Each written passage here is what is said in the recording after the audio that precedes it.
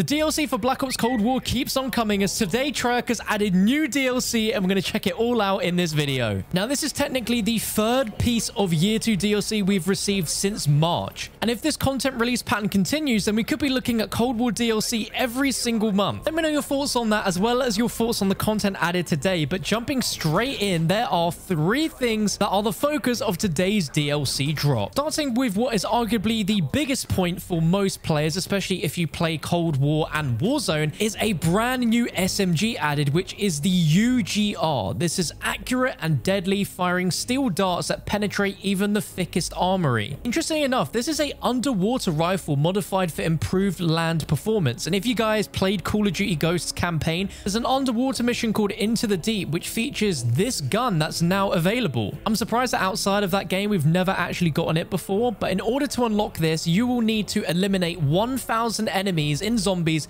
while using an epic rarity or better SMG. Now, if like me, you recently done the zombie super Easter egg to unlock yourself the epic rarity loadout, you can spawn in with any SMG and it will already be an epic rarity being that purple and all you need to do is just get a thousand zombie kills. If you just jump into a quick game of zombies, you should have no problem getting that done by about the mid to late 20s. Now, if like me, you're a little lazy and you just want to get your hands on it right away, then you can get access to it via a bundle in the store. Now, this bundle doesn't just include this weapon, but this is a brand new operator added in today to Black Ops Cold War, which is Lazar from the Black Ops Cold War campaign. Now, if you've played that campaign, slight spoilers, but he might have died in your version of the campaign. So seeing him here is a little bit strange, but at the same time, is Black Ops, anything can happen. And I think it's fantastic that we're getting a new operator in the game. So if you get the Lazar operator bundle, not only will you unlock Lazar's operator skin, but also get the Deal Maker SMG blueprint for the UGR that you can see I'm using in-game right now, which looks pretty awesome and it has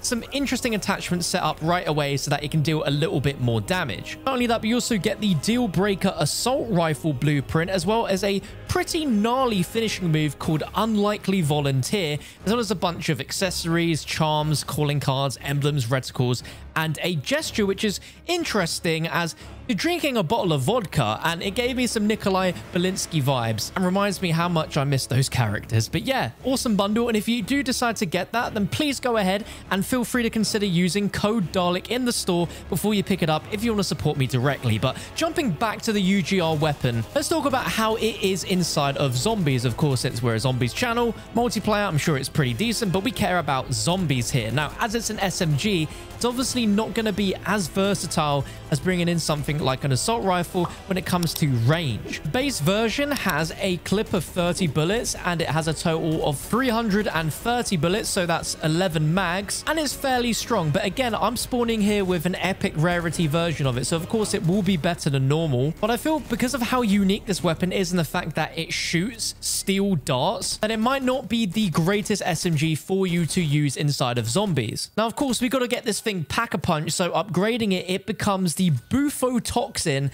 As we can see, we have a lot more ammo there, 56 bullets in a clip for a total of around 556 bullets. I do think the design of the SMG is really nice, especially with this version of it where we have this sight on top of it. It really doesn't make it feel like an SMG. It does feel a little bit like a AR SMG hybrid of sorts. And here we are on round 25 with this thing fully upgraded three times as well as getting it to the gold gold rarity, that legendary rarity, and as you can see, it's pretty good. But again, I wouldn't put it up there as one of the best weapons that we've seen in recent months added to Cold War Zombies. I wanted to keep playing until we got the Orda boss fight just to see how good it was. But again, it's an SMG, so I don't really think it's a viable weapon to use against really long-range bosses. If you're interested in knowing how to unlock this weapon inside of multiplayer, using an SMG, you need to kill an enemy revealed by your spy plane, UAV, or field mic in 15 different completed matches. And if it wasn't obvious enough, this weapon also shoots green tracer rounds and it comes equipped with the explosive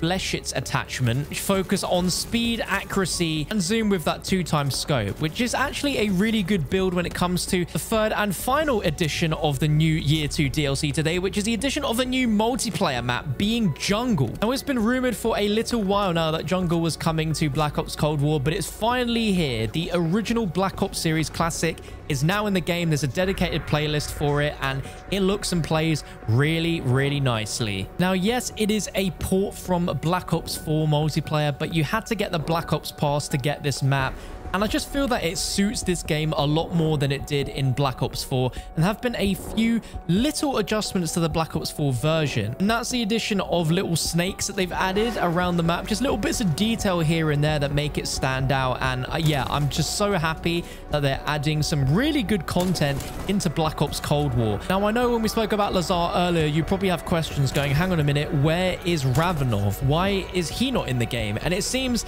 that there was a very recent decision internally by Treyarch and Activision that maybe it wasn't a good idea to have a Russian operator added into Black Ops Cold War with respect to what's currently happening within the world. So they quick last minute switched it up and we now have Lazar. Now, there's no doubt about it. Ravenov is just leagues ahead of Lazar, but at least it's something. And very excitingly, Call of Duty released a blog post detailing all of this new stuff. And at the end, they said expect even more content throughout 2022 for Black Ops Cold War. Keep your eyes out for an upcoming melee weapon for use in multiplayer, zombies, and Warzone, and watch for new operator skins, weapon blueprints, finishing moves, calling cards, charms, emblems, and other cosmetics arriving in a new series of store bundles throughout the months to come. Execute the mission. Now, due to hackers and leakers, we know that this upcoming melee weapon is going to be a Scythe melee weapon, and this was supposed to be in the same bundle as Ravenov, so it's likely that that's going to be reworked into a different store bundle. But what's crazy is that hackers that gifted themselves that bundle can look at it and everything's still there, including the Scythe, but Ravenov has been completely removed. So that is a real shame because I know he'd be a very popular operator. But on top of everything that Black Ops Cold War got today, Vanguard and Warzone also got an incredible Tracer Pack Godzilla bundle. It arrived early to prepare for the Operation Monarch event that starts next week. And you get this incredible operator skin that looks just like Godzilla. And then you got the Breath of Godzilla blueprint for the STG-44,